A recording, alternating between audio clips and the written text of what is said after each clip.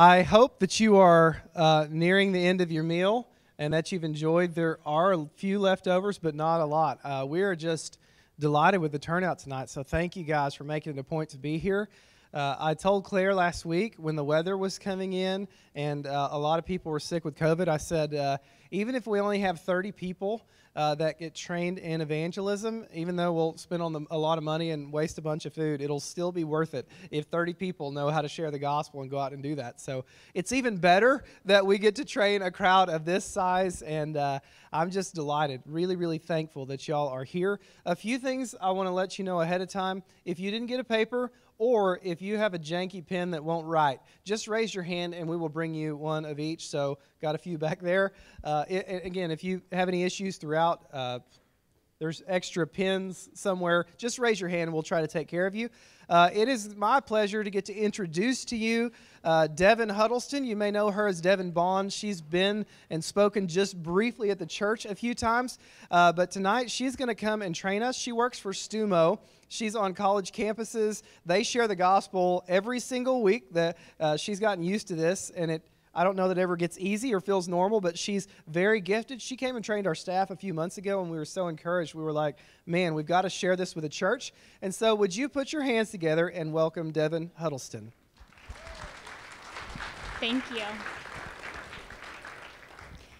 Okay, so it was May 14th, 2012, my 16th birthday. I was headed to get take the test to get my driver's license, so pretty big day at that age. I remember being very low on confidence when it came to the actual driving portion of my exam. I felt very good about the written test, I aced that thing. But then I get in the car with the instructor, and he says, Okay, we're going to start with parallel parking. You're just going to go right up there and parallel park. And I was like, Oh my gosh, I think that's impossible. And so I go up, go to parallel park, and as I'm just attempting it, he says, okay, you can stop now. You just needed to try. And I was like, oh gosh, I just failed my driver's test. This is terrible. But we continue. It gets a little better from there. Uh, my drive was far from perfect. I was scared out of my mind the entire time, but I finished and thankfully I passed. I got my license. And as I got my license and drove more and more, I was still nervous, but I slowly grew in confidence the more times I got behind the wheel, the more confident I became. It just took practice. Today, I'm a pretty confident driver. I don't get behind the wheel and like get nervous or freak out about where I'm headed, but and it's really not because of my skills. I'm not like the best driver. My husband would probably tell you that, but I just am more confident because I've had a lot of practice. And so my feelings and experience with driving for the first time very much relate to how I felt when I first shared my faith. So I remember about eight years ago, I had just put my trust in Christ, um, and I, may, I meet this girl in my class named Ada. Ada was from China, um, and as I start to talk with her, I learned that she has no idea who Jesus is. She's never heard of the Bible. Not only does she just not know who Jesus is, she has absolutely no idea of what God has done for her, what Jesus did for her on the cross. And so when I hear this, I'm just like, oh my gosh, I, I guess I have to tell her. She doesn't really have many friends here. She's from China, you know, came by herself, and I knew she would go back to China soon, and so, and probably wouldn't have anyone there to tell her about Jesus. And so I knew that I had to do it.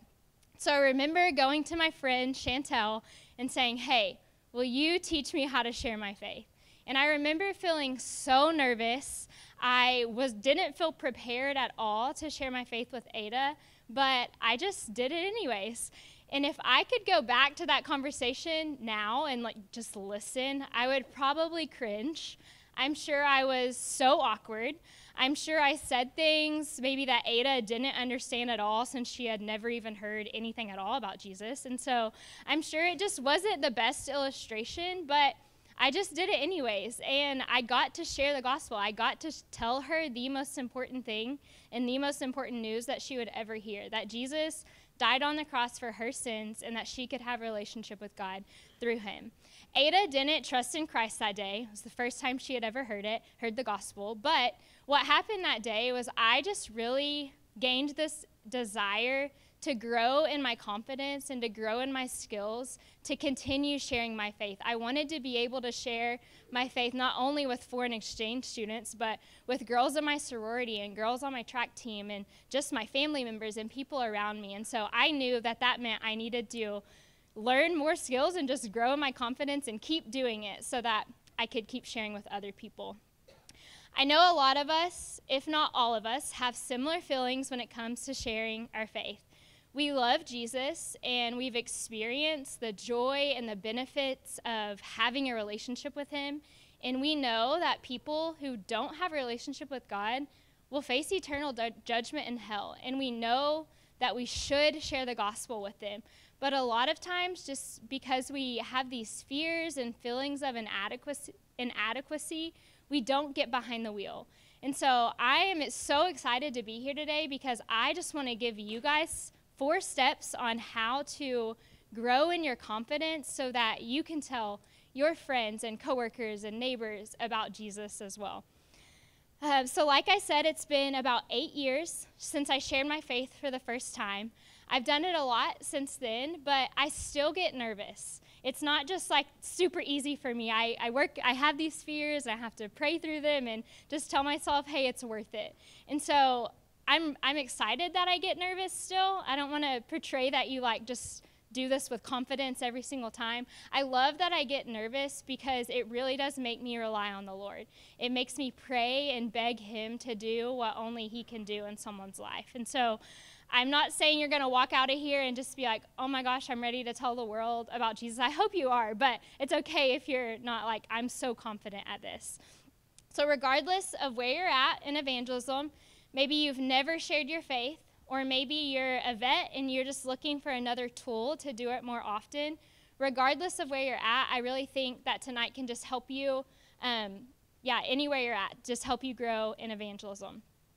Um, before I want to say anything else, I Jason kind of said this earlier, but I just want to say I'm really encouraged that all of you guys are here. Like, I mean, when you say the word evangelism, that's like when people kind of start like palms are sweaty, like no one wants to do that. It's kind of intimidating. And so, just the fact that you guys all chose to come, maybe someone drug you here, but you still chose to be here it, to come do a training on sharing your faith. I'm just really encouraged, and it says a lot about this church and this community. And so I'm pumped that you're here. I told Jason I'd be excited to talk to 10 people, but it's like 150, and that's even better. And so I love that you're here. Um, okay, so we're going to get started. We'll be on that first handout um, of that packet. And so these are four steps to sharing your faith with confidence. And the first one, that underline, is realize what success is. But what if I don't do everything perfectly? What if they ask me questions that I don't know the answer to? What if they reject me? What if I fail? I'm sure you've had similar thoughts when it comes to sharing your faith. I know that I have. Most of the time, I think we lack confidence in evangelism because we don't know what success in evangelism is. We like to determine it, or we tend to determine it by how well we do or how that person responds. And so, this is what how we view evangelism. Um, a positive response, so say someone you share the gospel and someone responds positively, that is good and that's a success. But maybe a negative response, maybe someone who said, "Oh, I don't want to do that. That doesn't sound like that doesn't sound great to me. It's your thing, not mine. Then we are maybe feeling defeated and feeling like that was bad and a fail a fail. So that's how we typically think, but that's not what the Bible says at all. So this scripture is on your handout. It'll be on the screen as well. We're going to read through it. In 1 Corinthians 2, 1 through 5.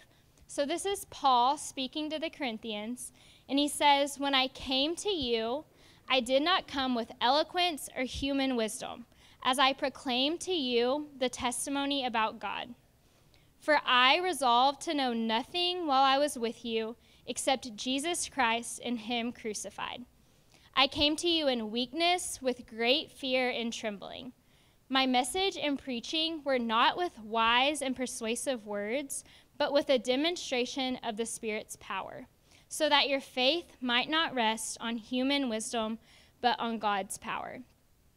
In, the, in these verses, Paul is saying that when he came to share the news of Jesus with the Corinthians, he didn't try to impress them with fancy words or with his knowledge. Paul knew a lot about Jesus. He was very well trained and read about everything in the Bible. And so he didn't try to impress them with his knowledge. He simply told them that Jesus died for their sins.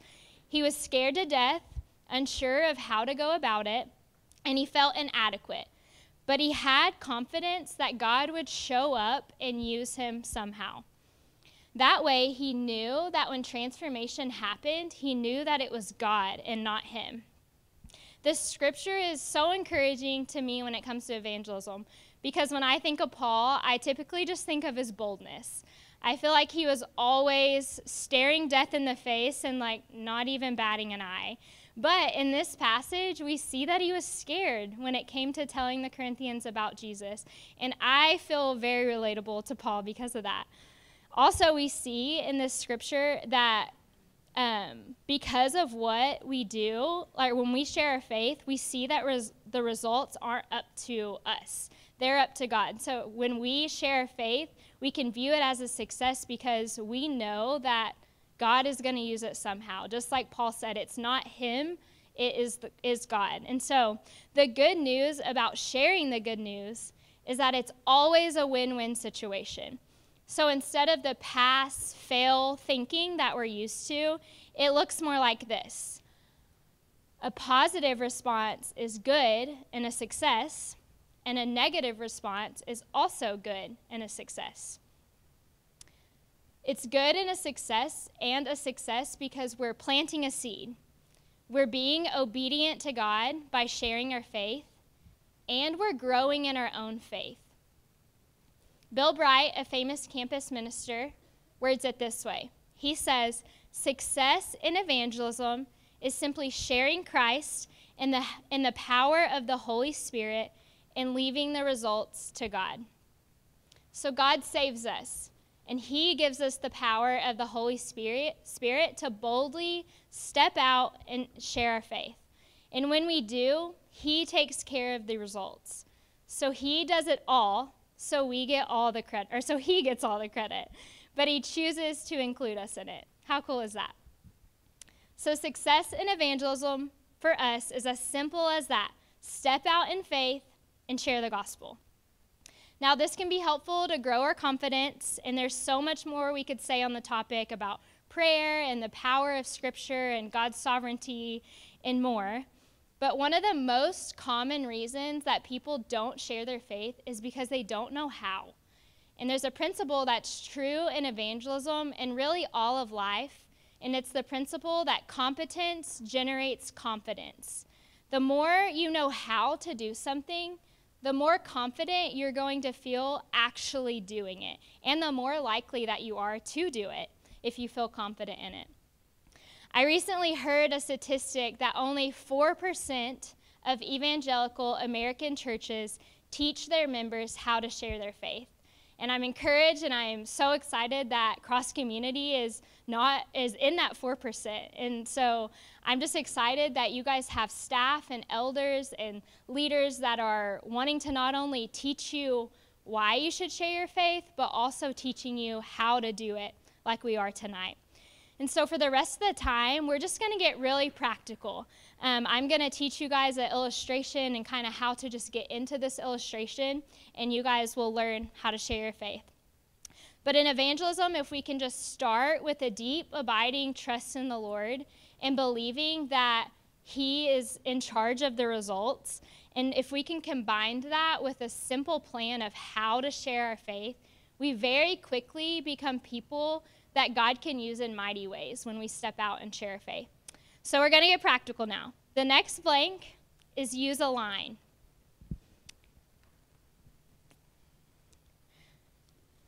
So it's helpful to have an idea of what you will say to naturally transition into spiritual conversations. So, as you're doing life, maybe you're at your kid's soccer practice, you're at a family gathering, work, running errands around town, we should be people who are aware of the spiritual needs around us.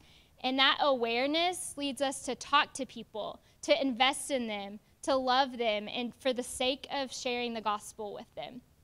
So, how do you go from talking about the weather, work, school, COVID, to, to talking about spiritual things? So, I have some tips for you, just some questions that I like to use. I call these transition questions. They just transition smoothly into talking about the weather or whatever to talking about spiritual things. And so, did you grow up going to church?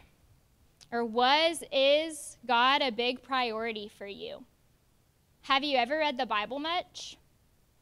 So these are very casual, just questions that you can ask as you're just sitting and talking, sitting and talking with someone at your kid's basketball game. Just as you're getting to know them. Hey, did your family grow up in church? Or are, are you attending church now? What does that look like for you? And as you just learn more about them, you they will most likely ask you, Hey, do you go to church? They'll want to learn more about you, and it just kind of opens the door for you to get to share with them. So, these simple questions will help you identify with Christ in a way that could lead really smoothly into asking for an opportunity to share the gospel. So, now I want to share with you. So, those are some transition questions but now I'm going to share a line with you that I like to use that just sets up an opportunity for me to actually share the gospel with them. So I have it on the slide, and it's also on your second page of your handout as well. But it says, Hey, I learned a way to explain what the whole Bible is about by just using one verse. I think you'd really like it. Can I show it to you? So I don't say that verbatim every single time I say it, but I say something pretty close. I just, hey, I have this illustration that sums up the main theme of the Bible. Can I show you? I think you'd really like it. And they usually say yes. Like, who says no to that when you say, I think you'll really like it? So, um, I want you guys to actually pause for a second and turn to the person next to you and say that line. You can read it. I don't expect you to have it memorized, but you can just read it and say it to them, and both of you practice.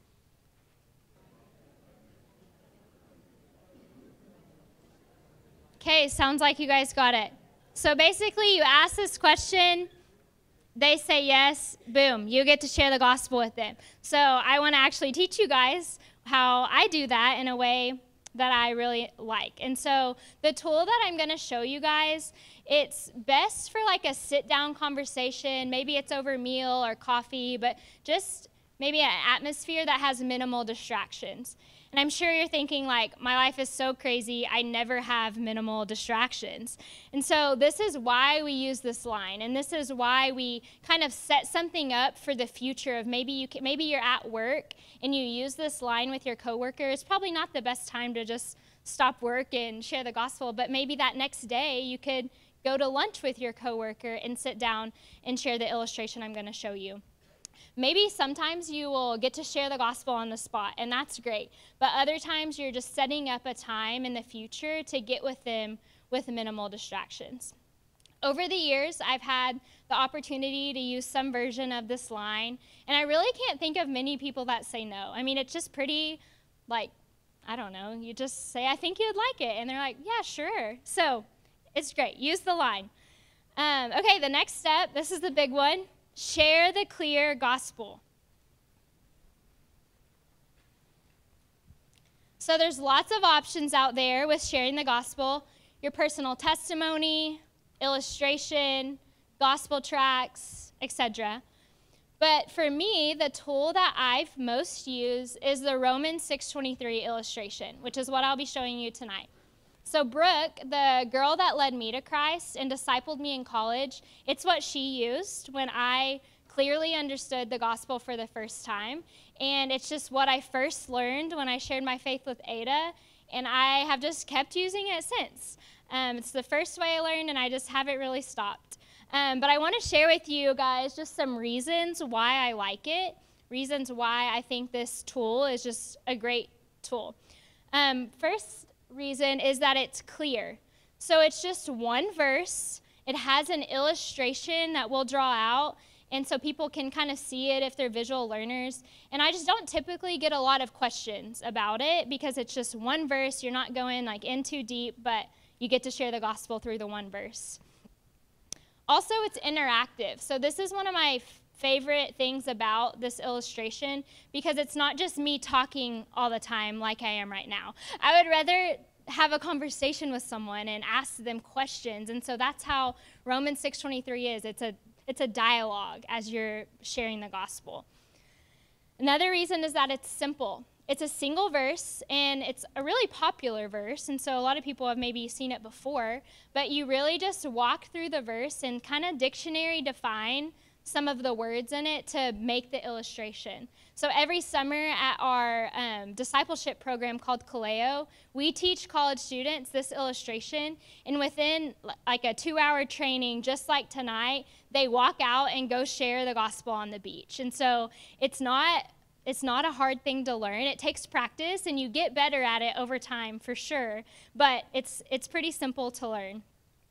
Also, it's versatile, so I'm going to teach us like the bare bones illustration of it, but it's designed to just relate to a lot of people. I don't share it the same way every single time I share it. Obviously, I keep the gospel the same, that doesn't change, but just kind of who I'm talking to, I kind of highlight different things based off of maybe their story or what they've told me so far. And so you can, I've shared it with grandmas on the beach, I've shared it with people from other countries, I've shared it with my family, and even just college girls. And so you really can kind of just make it make it for whoever you're sharing it with. And lastly, it's effective. Like Paul, I know that I'm not winning people to Christ by a fancy illustration or, you know, my wise words, but it's him working in their life.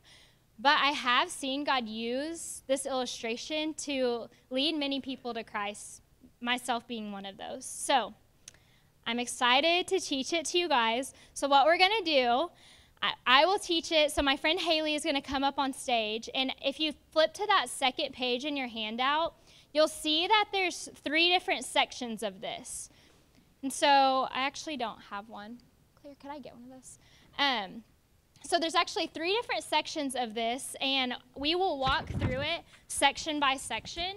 Um, and then you guys will practice it. So I know it can maybe feel like a little awkward depending on like if you're sitting with someone that you feel uncomfortable doing with, but it's fine. Just step past the awkwardness and share. it. I'm not expecting you guys to like hear me do it one time and then be like, "Oh my gosh, I got this all from memory." I'm just wanting you to try it. And so you can literally read through it as you share it with the person next to you. But I'm just wanting you to try. I think it'll be really beneficial because, like I said, competence generates confidence. And so if you practice it tonight, you're going to be more confident moving forward. And so, part one of this, Haley, this is my friend Haley. Welcome her up. yep, there we go. Okay, so part one is the bad news. And so, our objective, as you see on the paper, is to help them understand that they are sinful and separated from God. So, I want to take a few seconds just for you guys to read through that one through five, just so you can kind of get an idea of where we're headed. And then Haley and I will illustrate that for you guys. Okay, so we're pretending that Haley is a girl that maybe last week I said, Hey, Haley, I have this illustration that sums up the main theme of the Bible. I'd love to show it to you. Can we get together next week for lunch? She says yes. And so here we are at lunch. I'm getting to share my faith with Haley for the first time. Okay, so we start. I'm just, I'm literally going to illustrate this for you and try to not stop and like explain so that way I can just show you what it looks like and then you guys are going to practice it. So Haley, I have this verse that sums up the main theme of the Bible. It's Romans 6:23. Could you read it for me? Yeah. Um, for the wages of sin is death, but the gift of God is eternal life in Christ Jesus our Lord. Awesome. Have you ever heard that verse before? No, I don't think I have. Cool. Okay, well, we're just going to basically walk through this verse and like dictionary define some of the, the key words. And so the first word that we come to is the word wages, or first key word is the word wages. So what comes to mind when you hear the word wage? Mm, like money? Yeah, I think of like minimum wage, mm-hmm. like you earn that money. And so a wage is just something earned. Okay, and then the next key word we come to is the word sin. So, what would your definition of sin be? How would you define it? Mm, maybe just like bad things. Yeah, yeah. The Bible, the definition of sin is like missing the perfect mark of God. And so, definitely any of the bad things we do are sin. So, who do you think sins? Mm, I think everyone, right? Yeah, for Okay. sure. Yep, everyone sins. That's what the Bible says. So, um, the next word is death. So, obviously, we know what death is, but why do we get sad when people we love pass away? Probably because we don't see them anymore. Yeah, it's like you can't just give them a call on the phone and mm-hmm. talk to them. You're separated from them. And so that's what this word is meaning. Separation. So, so what this first line of this verse says is what we've earned for missing the perfect mark of God is separation. And that separation is from God. And so if we if these were two cliffs, and we were on this side, like you and I were on this side, and God was on this side, what would be separating us from Him? Mm, sin? Yeah, exactly. So that's what this first line says. What we've earned for our sin is to be separated from God. Does that make sense? Yeah, that does. Cool. Okay, that's part one. So now it's your turn. You're just going to get with someone next to you, and we're going to give you like five minutes or so for each of you to run through that illustration. It's okay if you're not perfect at it, no one's expecting that, but it's just getting familiar with it.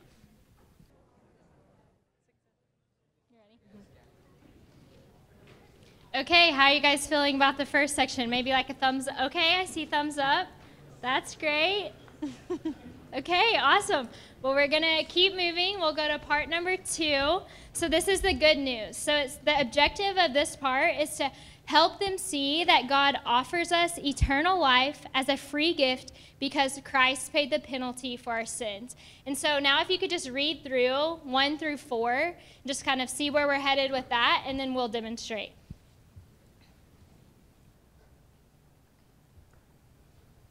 Okay, so the next key word we come to, Haley, is gift. So, how is a gift different than a wage? Mm, because it's given. Yeah, yeah, I think of like a birthday present, a birthday gift. You don't work for that, it's Yeah. free or unearned. Exactly. Okay, what does it say that this gift is? Eternal life. Yeah. Eternal life. And so, if we said death was a separation from God, what would you think eternal life is? Mm, like living with God forever. Yes. Living with God forever. So, I'm going to write forever with God.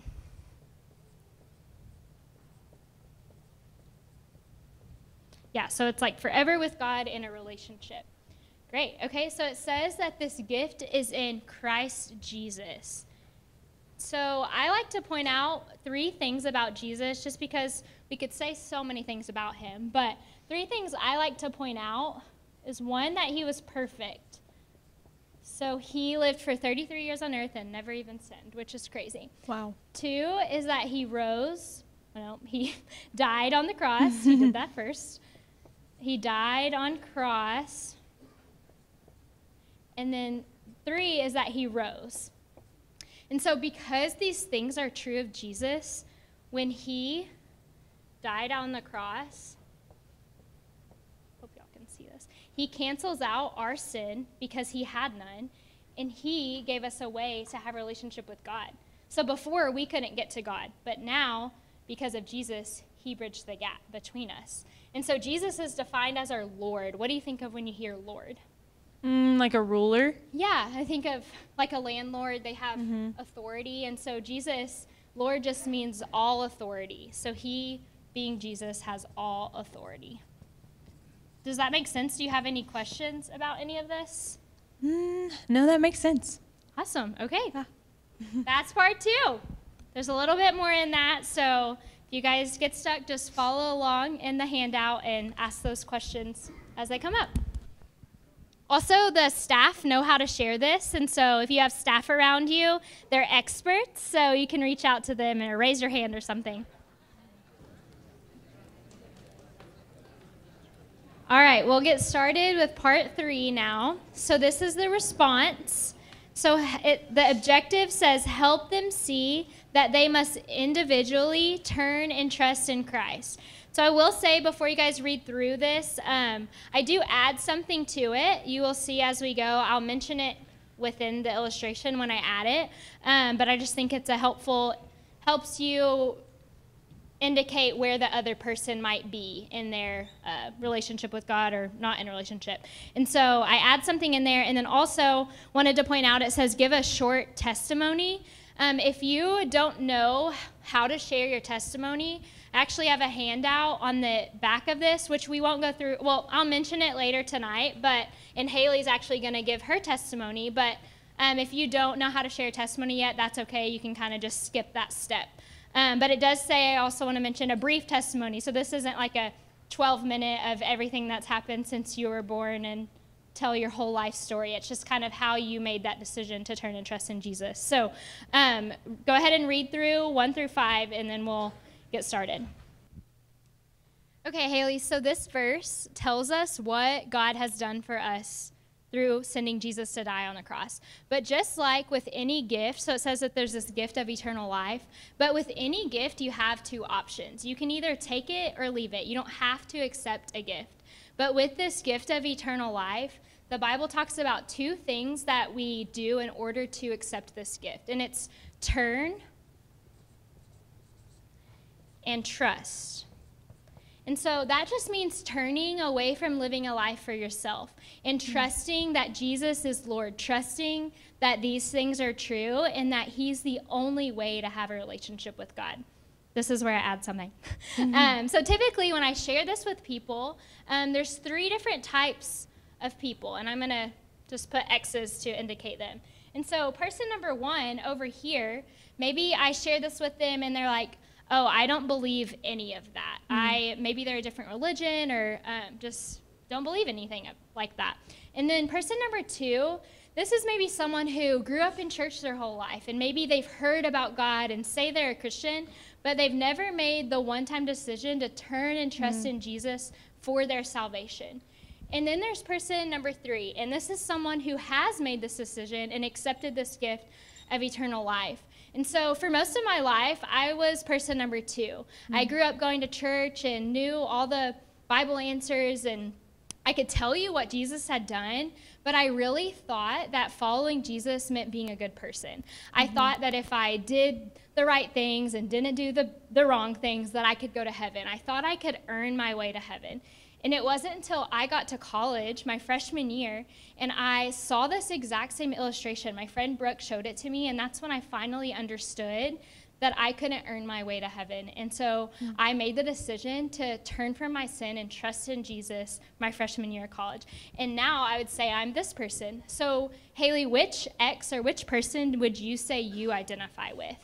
Mm, I'd say the second probably because I don't think I've made the decision to fully trust in Jesus. Yeah. Well, would you want to make that decision? Do you want to turn and trust in Jesus today? Yeah, I would. Okay, awesome. okay, so Haley just put her trust in Christ. That's great. Um, but that is part three. Um, you guys can now practice that.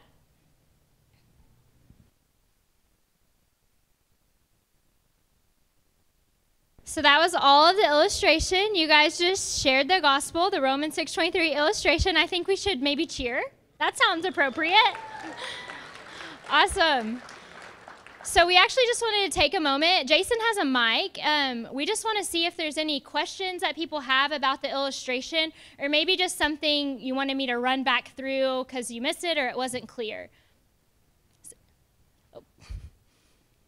If if they decide to to make a decision to follow Christ, do you pray with them? Do you lead them in a prayer? How does that usually work? Yeah, that's a good question. So if they say yes, um, I typically ask the question like, "Hey, how do you think your life will look different after making this decision?" And because a lot of times they'll just kind of say, "Well, I'll go to church more. I'll do X, Y, Z," and I, I want to make sure that they fully understand the gospel. That this just doesn't mean, "Hey, I'm going to do better." And so we talk through that a little bit, and then I just say, "Hey, when I made this decision, I just prayed to God." God. It wasn't like this big moment. There weren't a lot of tears. It was just like me acknowledging, oh, like, hey, God, I'm separated from you, and there is no way that I can have a relationship with you outside of what Jesus has done for me. And I trust in Jesus, and I trust you as Lord of my life. So it's not this big moment. I feel like that some people maybe think, but that's what it looked like for me. So that's a good question. Any others?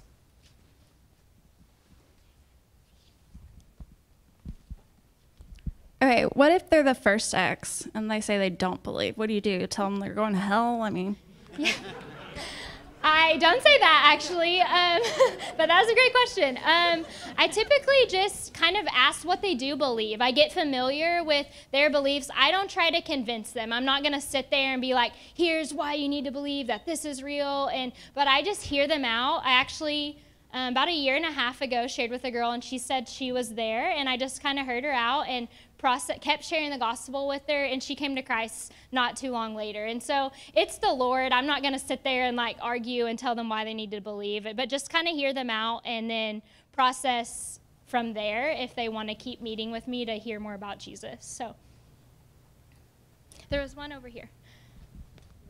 Say a, a, biblical question and you aren't sure what the answer is. Yeah, so what do I do if they ask a question and I don't know? I say, I'm so sorry, I don't know that answer, but I really want to figure it out. And so, can I get back to you?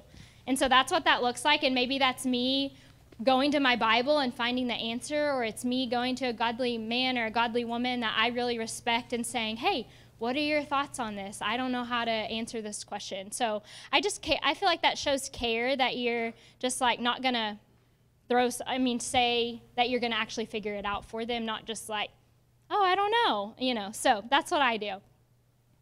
What's your response when they become argumentative or even combative to what you're sharing? Yeah, that's a good question. I feel like I haven't experienced that much, um, but I probably would just be very like humble of just or try to be very humble and not try to argue with them if they're like, hey, I, like if that's what you think or whatever, like. I mean, we just have to agree to disagree. And so I probably wouldn't try to keep that conversation going. I would just say that you're open to like talking about it more in the future if they wanted to hear more about it. But I wouldn't try to sit and argue. I feel like that just doesn't really get anywhere. So it's a good question. I'm no expert at this either. I'm sure, like, you can ask Jason some of these questions too, or other people. Like, I don't want to pretend like I have all this together. Uh, I've been asked, well, what about all the starving children of the world? Yeah. So, like, can you clarify a little bit more on there? He's our Savior. Is he, uh, is he going to take care of us? And yeah. Why doesn't he take care of the starving children? Yeah.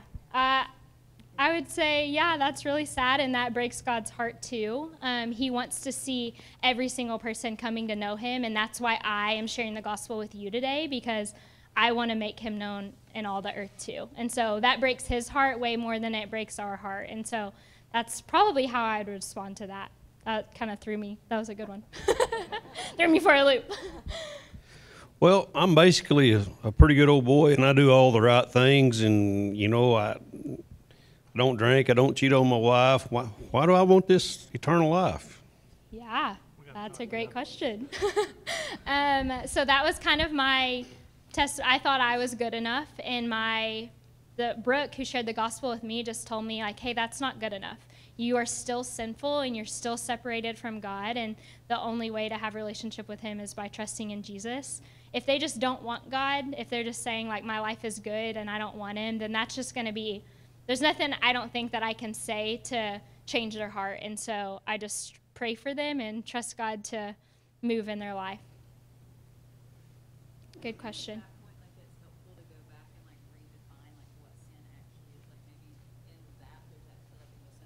Mm-hmm.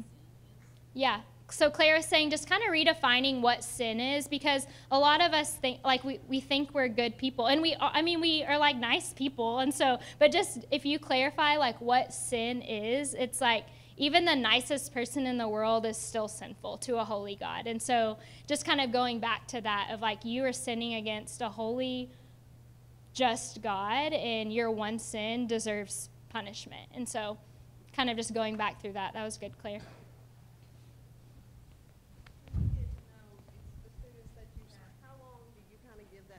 before you actually invite them to eat lunch with you? I mean, the relationship you build, how, what's that phase that you kind of go through before you get to that step instead of, I know you don't just jump right in and Yeah. say, hey, let's just sit down and talk about God. Yeah, that's good. So if this is so there's kind of two ways to do this. I have shared this like cold turkey, like just with strangers and random people. That's not my favorite way to do it. I really love to build a relationship with girls, befriend them, take an interest in them, have them over for dinner and just show them that I care about them.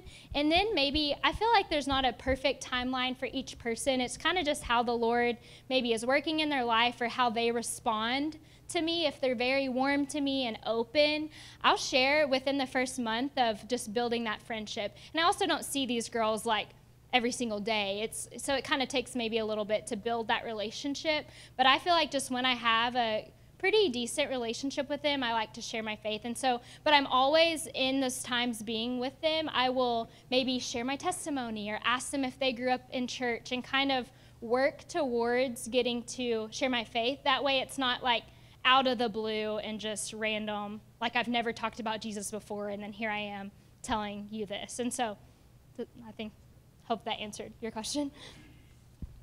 Time for a couple more. Anybody else?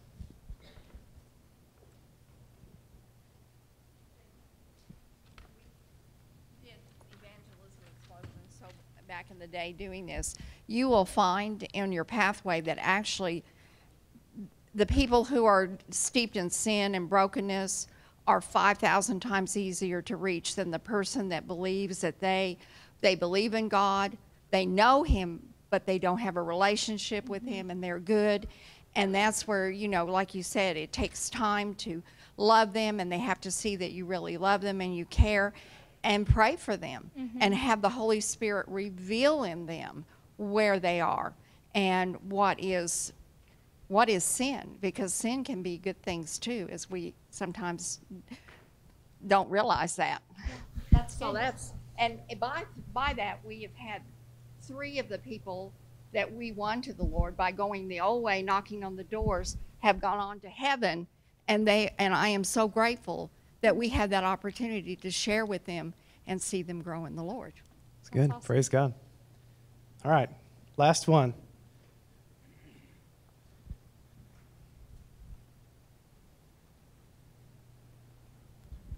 I'm guessing we don't want this to look like a drive-by salvation moment. So when somebody says yeah, or they say I'm, I'm interested in more, maybe this is as much a question for Jason as it is for you.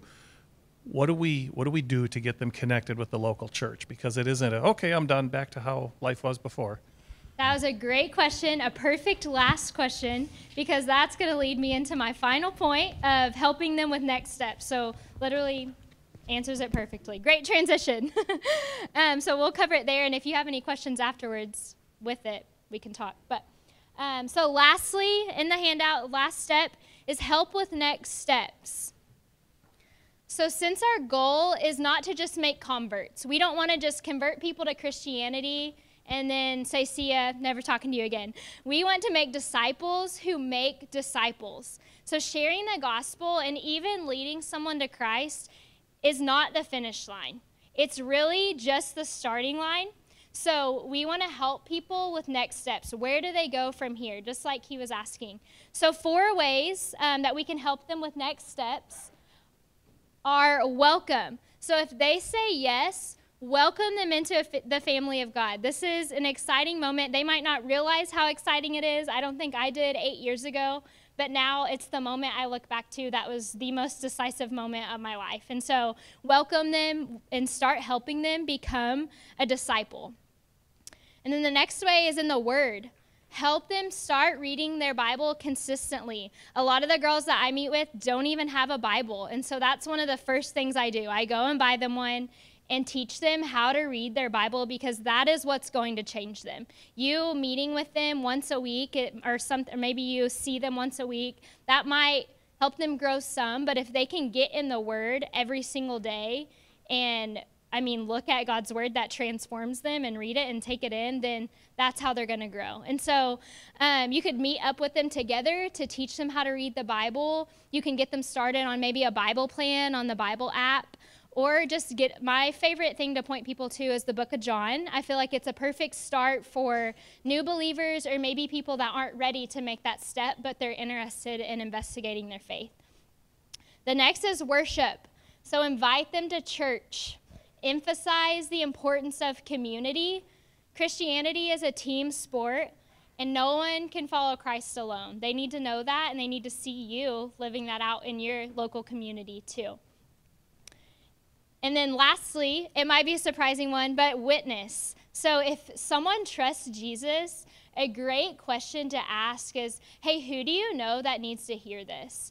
And so I often will take girls with me if they're like, oh, my friend Mallory needs to hear this. Then I'll take this new believer with me to watch me share the same illustration because they can just hear it again and maybe even get to just see what I'm doing, and that would lead to them doing the same thing one day. And so teach them how to witness, to get involved in the church, how to spend time in the Word, and just welcome them into the family of God.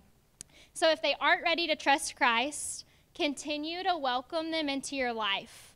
Be their friend, love them, and sh- continue sharing the gospel with them. I'm not meaning like keep sitting down every week to show them this. That would probably be overkill, but keep just talking through the gospel. Talk about what you read in your Bible or what you learned at church that week, and just continue putting the gospel and sowing seeds.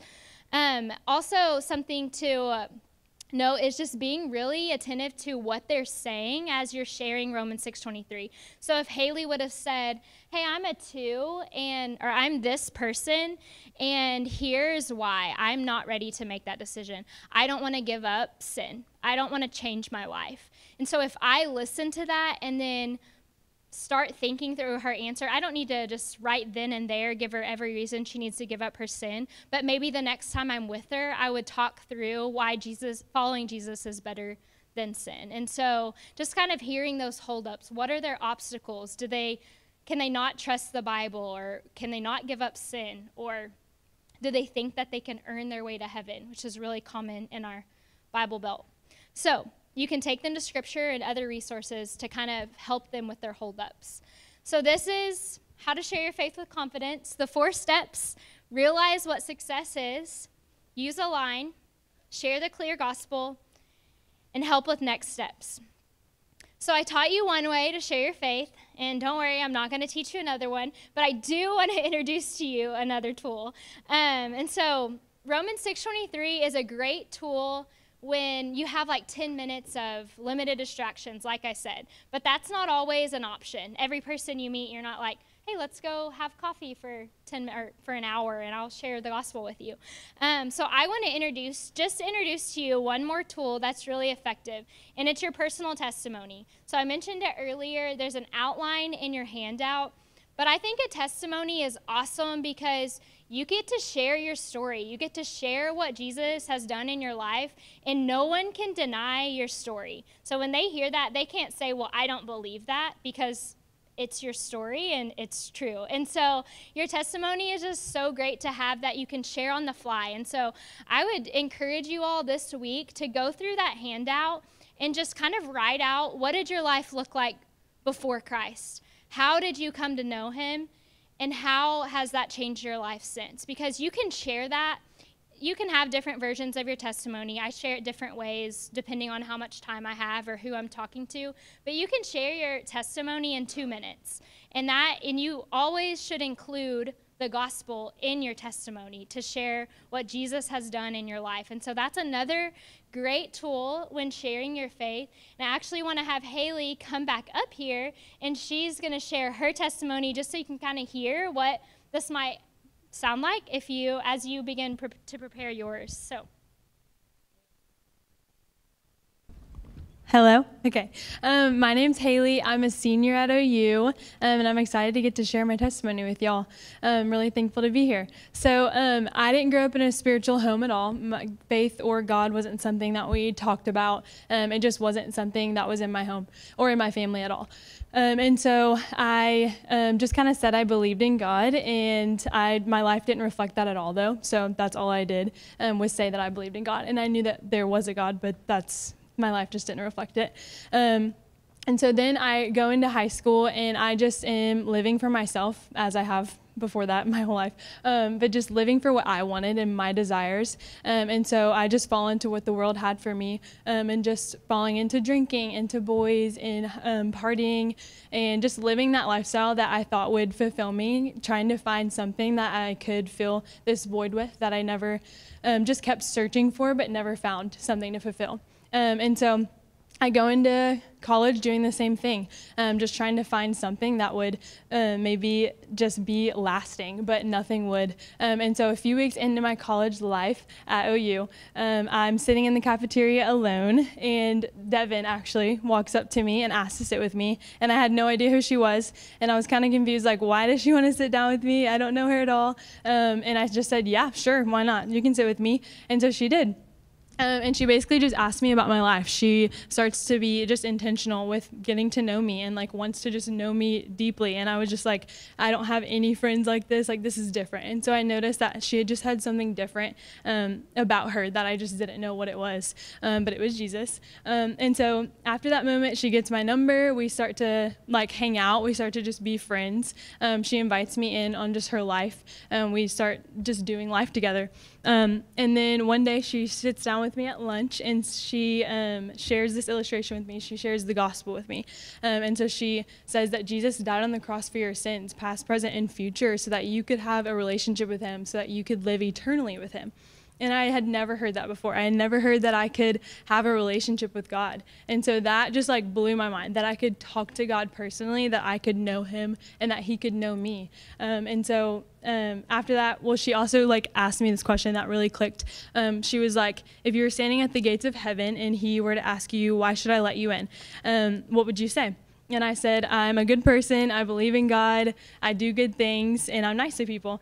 And um, she was like, Well, it's actually nothing that you do. It's not that you can win your way into heaven. Um, it's not that you do good things. It's that you just trust in Jesus um, Christ that died for your sins, um, and that you actually follow him and not just believe, um, but that you follow in him, or that you follow him. And so, um, after that, I was like, okay, this makes so much sense to me. I like, I get it now. Like, I just hadn't heard that my whole life. No one has just like cared enough about me to like sit me down and say that to me.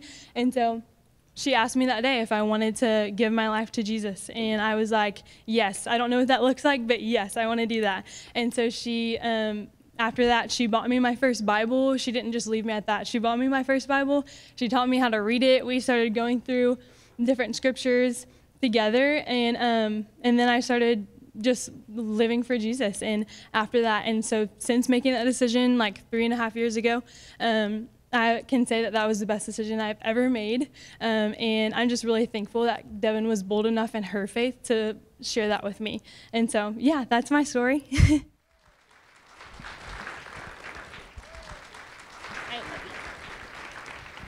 Thanks, Haley. Um, you guys, I was so intimidated to go up to her in the cafeteria. She was so pretty, had her little sorority shirt on, but so grateful that I did because, I mean, Haley now, it's like I got to pass on to her what I knew, and then she is doing that and has been doing that for the past three years on her campus, at her job, um, in her sorority. And so you just never know what God can do. When you step out in faith, you're going to be scared to share your faith, but he, you just, I never would have imagined that now one of my best friends, I mean, three and a half years later, to see where she is and how God has grown her, I'm like, you guys just share your faith because you don't know what he'll do. And so, as a final tip, I just want to say one of the best ways that you can live this life of just sharing your faith, though actually live it out, is to have a community of people around you that are challenging you in evangelism.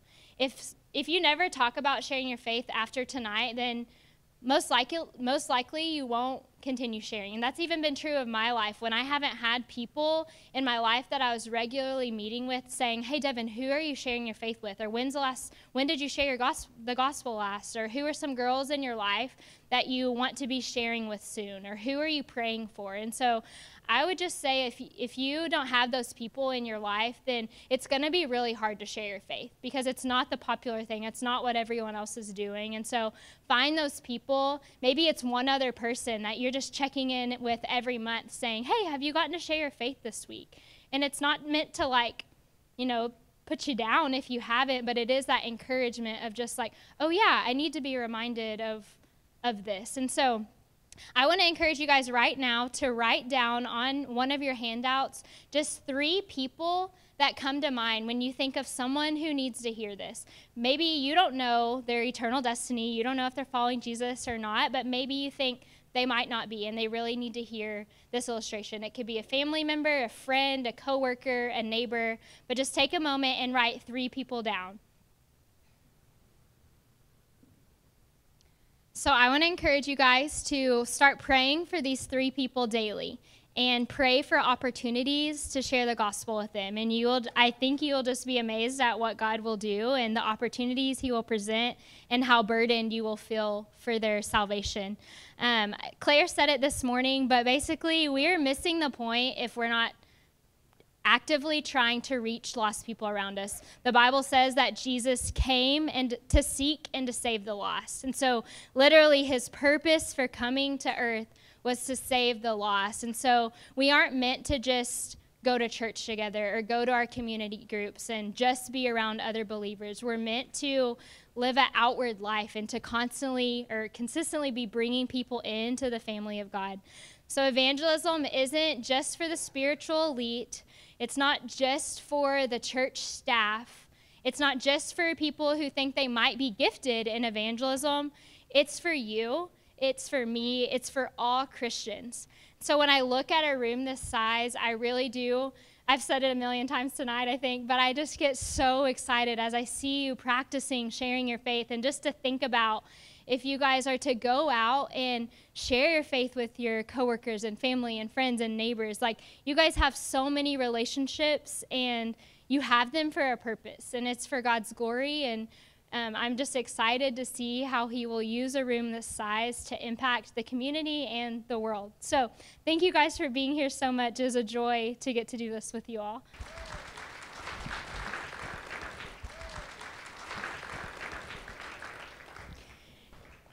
Um, one of the things that I've I've been praying for is that uh, our city would be different because of what God has done in us and what He does through our church. And uh, we really did have a conversation. I thought 30 people were going to be here tonight, and I was going to be excited about that. Uh, there's 165 people here tonight, and I'm just praying that God works through you uh, in particular. Uh, there's a lot of people that are hurting, a lot of brokenness in our city uh, a lot of people that need Jesus Christ, and God has seen fit to connect us to them in various ways, various relationships. And so there's a harvest out there. It's the workers that are few, and we have an opportunity to go to sow into the harvest field. When we talk about the law of sowing and reaping, it's not just in our lives too, but we have an opportunity to sow into the lives of others. And so that's a great joy. I really did. I, am truly, truly thankful that you took the time to be here. Truly thankful for you and Haley for sharing with us. A huge blessing. Uh, one more thing I want to tell you about tonight is that both of these girls, um, they raise their own support. Uh, and so Deven has done this how many years now? Four. Four years. And there's nobody that's like, hey, I'm just going to pay your salary for four years, but rather she depends on people like us uh, to help pay for her way to go and to enable her to be on college campuses. Uh, she's been ministering to my niece Addison, or Stumo has been ministering to my niece Addison and connected with her. Uh, what a joy. We have a, a, couple in the back that they actually knew her. And so uh, God is doing a great work through Stumo. So Deven is going to be around here after tonight. Uh, some of you have already had meetings with her. I would encourage you just to say, hey, God, would, would you have me be a part of supporting e- either Deven or Haley's going to be starting? She's graduating college very soon. She's going to be launching next year. Uh, this is a great way to sow into the kingdom financially. It doesn't let us off the hook for sharing the gospel ourselves, but it extends our reach where we get to participate in the gospel being shared elsewhere. So they're going to be around for a short while afterward. Uh, just come ready with your checkbook, ready to sign. a couple hundred dollars a month. You don't have to do that much, but uh, a hundred dollars a month or so goes a long way toward enabling them to continue to do the work that they're doing. College campuses are a harvest field. So I would encourage you, I would challenge you, dig deep, give up your coffee for the year, whatever it would take, uh, do what it takes to support these young ladies. My wife and I do it. Uh, as a church, we're supporting uh, Deven, and we're going to continue to do that. So I want to say a word of prayer over us tonight. Uh, thank you again for being here. Let's ask God just to continue to use us. Lord Jesus, we pray that you would use, use me and use every single individual in this room to think that if even we all of us led one person to Christ this year uh, through sharing the gospel, and it might take one time, it might take a hundred times, but that we could find uh, just joy in sharing the gospel message with people that desperately need to hear it. Uh, Lord Jesus, I pray that you would, in your power, that you would draw men and women to yourself and use weak individuals like us. God, I know our presentations are going to be imperfect. Our knowledge is going to be imperfect. We're not able to draw anyone, but you are. God, we know that you desire to save, uh, to draw men and women to yourself. And so, would you use us in that process? And may we celebrate with joy when you do in the hearts of others what you've done in our own hearts. We just thank you so much for the gospel, for the good news, for uh, the gift of Jesus Christ in our life, the salvation that we have. And God, we pray that one year from now, our community would be different because of what you did through us. We pray this in the name of Jesus Christ. Amen. Thank you guys so much for coming tonight.